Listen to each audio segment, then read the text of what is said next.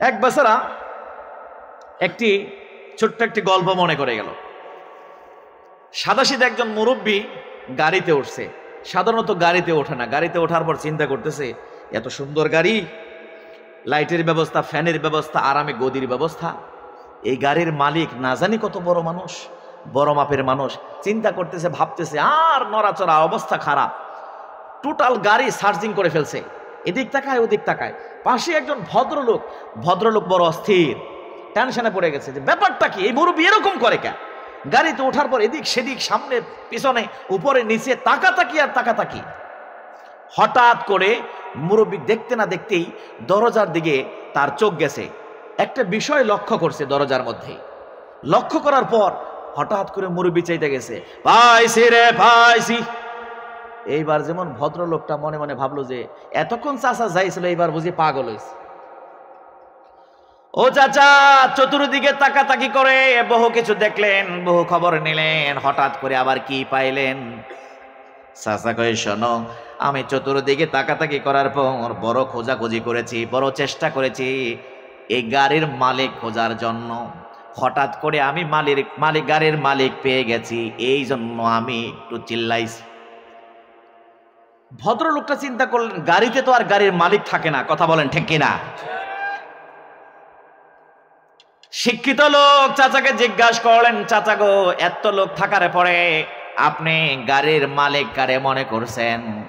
ওই গাড়ির মালিক যিনি দরজার পাশে দাঁড়িয়ে আছেন, তিনি ওই যে সিরাসাত গায়ে দিয়া।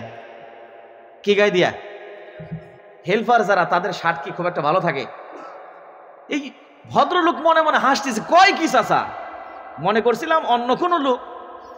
এই দরজার পাশে সিরাসাত গায়ে দিয়ে দাঁড়িয়ে রয়েছে এই লোকটারে মালিক মনে করলেন, কারণটা কি? যুক্তিটা কি? কারণ হচ্ছে এত মানুষ টোটাল গাড়িতে পঞ্চাশ, ষাট জন মানুষ। কারও কথায় গাড়ির ড্রাইভার থামেও না, আবার গাড়ির কথায় গাড়ির ড্রাইভার সারেও না। লক্ষ্য করলাম পিছনে এক ভাই বলল, থামান থামান, আমারে নামিয়ে দেন। ড্রাইভার তাও থামালো না। সেরাসাত গায়ে দেওয়া লোকটা বাম হাতটা উঁচা কইরা মারছে একটা পয়সা থাপ্পড়।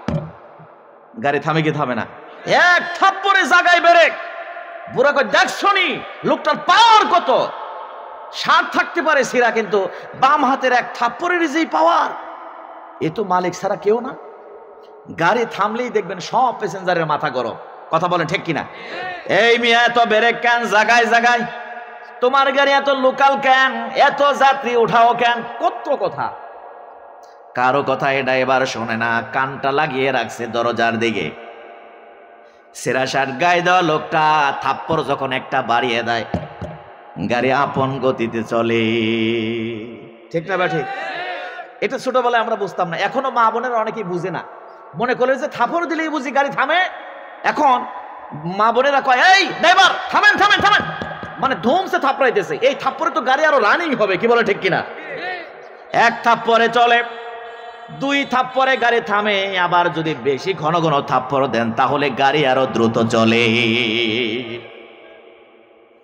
শিক্ষিত মানুষ ভালো করে জানে, এই কোয়ালিটি এই ক্ষমতা যার। তার নাম হলো হেল্পার জোরে বলেন কিপার মুরব্বী কয়, হেল্পার এটা আবার কি কয়? এটা খায় না, মাথায় দেয় জীবন জানি না। কয়, না, এটা হলো একটা ব্যক্তির পদের নাম।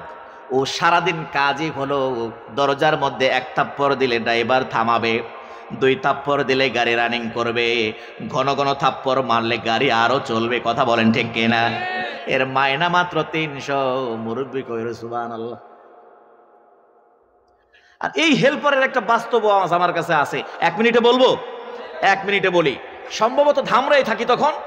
উত্তরবঙ্গে এক মাহফিলে গেলাম, যাবার পরে আমার মুসল্লি একজন হেল্পার, ও বলে যে, হুজুর, আজকে আর কোনো কাজ নাই, নিয়ত আপনার সাথে সফর সঙ্গী হব। খুব পোশাক আশাক সুন্দর করে পরে আমার সাথে সফর সঙ্গী হয়েছে। এমন এক গ্রাম অঞ্চল, অঞ্চলে ঢুকছি, সেখানে নাকি ডাকাতের ভয়। রাত তিনটা বেজে গেল, কয়, হুজুর, এই মুহূর্তে যদি পথ ধরেন, আমরা যা হাদিয়াটা দিয়ে দিছি, এগুলো তো রাখবেই। আপনার কাছে যা আছে সব রেখে দেবে কেল্লা পথে। আমাকে ইন্নালিল্লা কয়, কি? কি করা যায়? দুই ঘণ্টা বিশ্রাম করেন। ফজরের রাজানের আগ দিয়ে রাস্তায় বের হন। মানুষ জিকিরে ফিকিরে রাস্তায় থাকবে। নিরাপদ। তাই করলাম, কিন্তু তারপর আমার তো একটা টেনশন।